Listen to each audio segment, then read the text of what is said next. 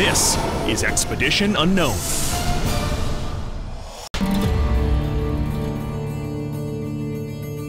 At Haiti's National Museum, I meet with Director of Conservation Camille Lewis, who shows me a breathtaking connection to the mystery.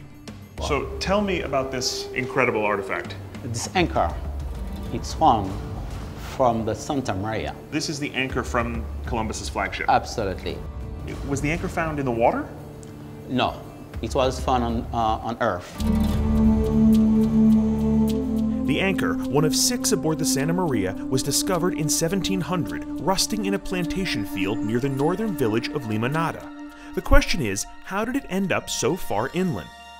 We have one theory, because at the time when we had this shipwreck, they used all the woods from the Santa Maria to build a fort, Natividad.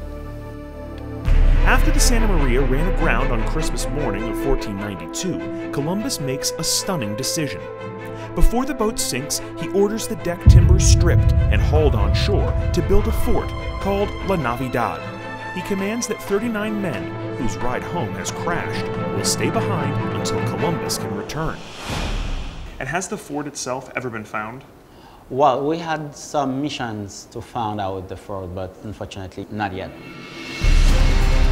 Government's current missions to find La Navidad may be my best opportunity to unravel the mystery of the Santa Maria. Find the fort and the rest of the boat, and the truth about Columbus will be revealed.